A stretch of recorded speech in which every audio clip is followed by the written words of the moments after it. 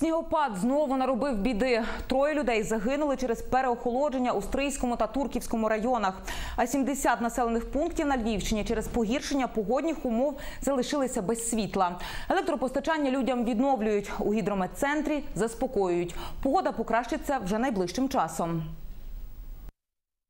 Оскільки дуже мінливий грудень ми маємо з самого початку, ми так бачимо.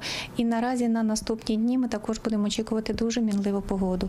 Сьогоднішня вітряна погода і завтрашня вітер буде стихати вже завтра, десь ближче до вечора.